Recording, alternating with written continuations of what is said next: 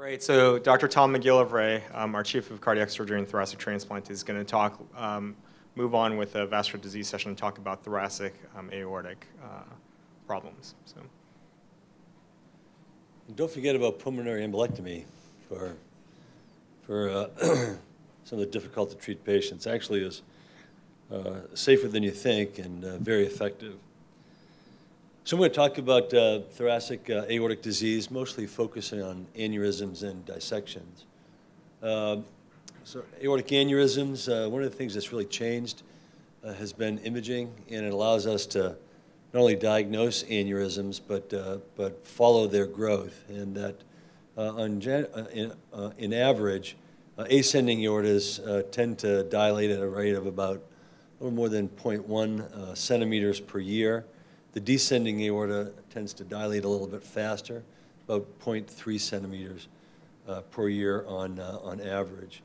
As I said, I mean, it's really incredible how much imaging has changed, that we can follow these uh, patients very, very closely uh, with, uh, with more and more, less and less uh, radiation risk by CT and certainly by MRI. what hasn't changed is the bigger these aneurysms get, the more likely uh, patients are to have problems, uh, whether those problems be rupture, dissection, and combination of those together or death, to the point that once you get to be six centimeters or greater, the, the risk of uh, any combination of rupture, dissection, or death is about 16% per year. So it's pretty high. Um, the indications for intervention on aneurysms, uh, these are uh, all in your guidelines, are uh, 5.5 centimeters or greater in the absence of a connective tissue disease.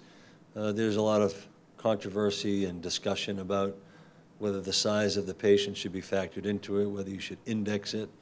Uh, the answer to that is probably, uh, but the, the guidelines go by absolute size. That's not a great way. I mean, there's there are patients that rupture when they're smaller than that. There are patients that don't rupture when they're bigger than that. Uh, there are, I'm sure, uh, and we're learning more, that the dynamic aspects of what happens inside the aorta and the wall forces probably play a bigger role uh, than we know, but uh, we really don't know how to interpret those yet. For patients with connective tissue diseases, and there are a lot, and probably as we uh, tease these out more and more, most of the patients that have aneurysms have some kind of abnormality uh, in their connective tissue. But uh, the, for now, the named connective tissue diseases will recommend that you go at a lower threshold, certainly for diseases like uh, Loeys-Dietz or Ehlers-Danlos. Uh, some would argue even the presence of uh, dilation of the aorta should be an indication to proceed. Patients with Marfan's still somewhere between 4.5 and 5 bicuspid aortic valve, very uh, debatable issue, uh, and that continues to be a moving target, but a lot of us recommend at five centimeters or greater uh, to go ahead and uh, intervene. The other thing that happens with certainly ascending aortic and aortic root problems are the risk of aortic valve insufficiency, uh, not because of a aortic valve problem, but because of the geometry that changes from the aneurysm uh, causing aortic insufficiency. So increasing in the degree of aortic regurgitation uh, with uh, dilation of the aorta, uh, even the sinotubular junction should be a reason to proceed with resection. In the ascending aorta, there's, depending upon, we, we at least uh, most of us think about the aorta now as a segmental organ, uh, the aortic root, the ascending aorta, the arch, uh, the descending aorta and the thoracoabdominal aorta and the intra-abdominal aorta. And you essentially uh, think about it in a modular way. You fix what is broken, uh, no more and no less. So for the ascending aorta, uh, oftentimes for uh, ascending aortic aneurysms, you just do a supracoronary graft, replace the tubular portion of the ascending aorta. If it involves the root, historically, we have done a composite aortic root replacement, take out the root and replace the valve, even if the valve is uh, normal in the old days. But now more and more, we're able to resect the root if it's diseased or, uh, dissected but leave the patient's native valve, and that the long-term, certainly the intermediate-term uh, valve function has been quite good. Uh, You can take the ascending aorta out with a, uh, with a clamp on it. This is with an open distal anastomosis. Those little metal bulldog clamps are on the arch vessels. Uh, It allows you to get uh, into the proximal aortic arch uh, while you're uh, either on circulatory arrest uh, or uh, now most of us would do some kind of cerebral perfusion during an open distal anastomosis. This is a total arch replacement. We've resected the arch and are looking down the barrel of the descending aorta. Uh, That catheter is in the descending aorta. And we can reconstruct the uh, aortic arch and the branch vessels, those uh, three up on top, and that longer side branches, what's connecting the patient to the heart-lung machine until we separate from bypass. Um, I said most of the time, I mean, all of these ascending aortic operations are done on bypass. If you, uh, depending upon how much of the aorta you're going to take out, um, you can uh, cool the patient down. The reason to cool people down is every 10 degrees colder you get, you decrease the metabolism of that organ, uh, most importantly, the brain, by 50%. Uh, So uh, uh, moderate hypothermia between 24 and 28, deep hypothermia 18 to 24, and profound hypothermia less than uh, 18 degrees. Um, That uh, profound hypothermia used to be the only real way of uh, protecting the brain. As you know, once you start to get above four or five minutes, you begin to have permanent, irreversible brain damage. There's not a lot of surgery you can do on the arch in less than four to five minutes. Uh, But if you, if you go to 18 degrees and use that as your only period of time, you have about 30 minutes, which uh, uh, still is not a lot of time, but you can do it. You can add uh, antegrade or retrograde cerebral perfusion, and that will extend your time upwards of an hour or more and allow you to do more complica, more complex surgery. Uh, Aortic dissection, um, very, uh, very bad disease, to say the least. It's the most common uh, uh, problem of the aorta. Uh, I'll say that again, it's the most common problem of the aorta. Uh, Causes more deaths than ruptured aneurysms. Uh, The incidence is about three per per 100,000 a year. As I said, the most common catastrophe of the aorta. And, uh, and certainly for type A aortic dissections, the mortality goes up with every hour.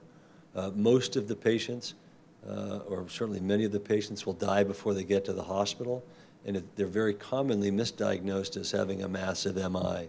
Somebody gets chest pain, they hold their chest, and they collapse. They come to the emergency room and they're dead. Somebody, oh, they must have had a big MI. There's a study about 25 or 30 years ago that showed that about 30% of those actually had aortic dissections. It's very important to make the diagnosis. These patients can have uh, sort of the, uh, most of the time, their presenting symptoms are different from patients with MIs. These patients have terrible tearing, ripping, awful, terrible pain, as opposed to the tightness, uh, pressure that people have uh, with, uh, with coronary ischemia. Uh, There are several different uh, classification systems. If you're in Houston, you still go by the DeBakey criteria. Uh, DeBakey type 1 involves the ascending aorta arch and descending aorta. DeBakey type 2, just the ascending aorta. And DeBakey type 3, just the descending aorta. Uh, Early on, it was uh, even more sub-classified as to where the, uh, the intimal tear was. Uh, That we don't really focus on as much uh, anymore. A simplified version, uh, the Stanford criteria, if it involves the ascending aorta, it's a type A. Uh, If it doesn't involve the ascending aorta, it's a type B. So if it starts in your aortic arch and goes, if it's in your aortic arch and your descending aorta, it's a type B. Good job. Uh, And it's about, about uh, two-thirds of dissections are type A dissections, uh, and one, a little more than one-third are type B dissections. Uh, As I said, the presentation of both uh, uh, predominantly is significant pain. Type A, and the patients will tell you it starts in the chest, went up to my neck, it's in my back and going down to my abdomen. And it's a light switch. One minute at least symptomatically, they're fine, and the next minute, they're in terrible pain. Type B dissection commonly will start with just uh, back uh, pain.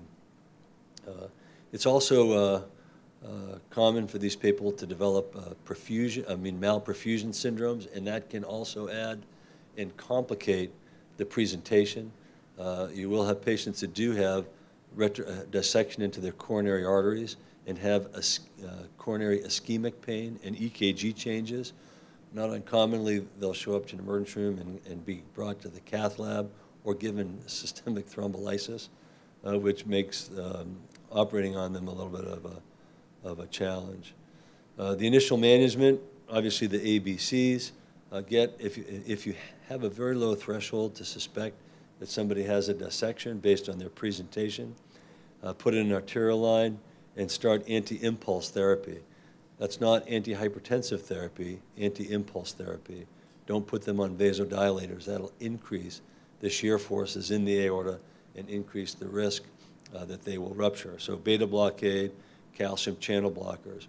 Uh, Be careful, a, a lot of these patients uh, will develop aortic regurgitation, so you don't want to over beta block them. Take out a stethoscope or, or have, or do an echo to look at the degree of aortic insufficiency. Uh, and that can, uh, if you, if you have a significant amount of uh, aortic regurgitation, you can uh, make that worse with increasing the beta blockade. Patients with acute type A, the treatment is surgery. Um, uh, They really need to go to surgery as quickly as possible. Uh, Complicated type B, some kind of intervention is indicated. Right now, anyway, for uncomplicated type B, and we'll talk about what that is in a moment, um, optimal medical therapy uh, seems to be the right therapy. This is a graph from the IRAD uh, database showing the mortality of an acute type A aortic dissection. Uh, The mortality significantly rises within a very short period of time. These are not patients, I mean, I, I used to tell my residents, a patient with a type A dissection, you want to think of it as a hand grenade in your hand with the pin pulled out. You want that patient to get to surgery as quickly as possible. I've, in my experience, seen patients waiting for another CT scan, waiting for TE to come down, you know, waiting for an operating room to open up that just rupture and die in the emergency room, and that's really a terrible, terrible thing. The goal of the surgical treatment is uh, simply to keep the patient from dying. It's not to resect all of the dissection. Uh, Most of the com, most of the reasons that patients with a type A dissection will die uh, happen because of problems in the ascending aorta. Uh, They can rupture, causing exsanguination or uh, tamponade. Uh, They can have uh, retrograde dissection across into the aortic root and cause aortic insufficiency and die of acute heart failure or malperfusion syndromes to the coronary arteries, to the brain, to uh, anywhere in the uh, uh, splanchnic system, uh, uh, and uh, uh, increase the incidence of death. So if you replace the ascending aorta, that uh, you can reverse uh, uh, most of those problems, about 75 to 80 percent uh, of the time. Still, the mortality rate is pretty high in the IRAD database. Uh, Most recent report is uh, the surgical uh, mortality is still about 20% for an acute type A dissection. That varies. Uh, Centers that have a lot of experience, which is a very small number of centers, um, their uh, mortality rate is lower. Uh, And it speaks, I think, to the benefit of having uh, an experienced team. Type B dissections, uh, th- those that uh, are in the descending aorta, um, we consider those to be complicated or uncomplicated. Uh, Uncomplicated dissections have stable hemodynamics, there's no uh, evidence of clinical malperfusion, and you can control the pain uh, with uh, antihypertensive therapy uh, and some pain medicine. And that makes up about 75% of type B dissections.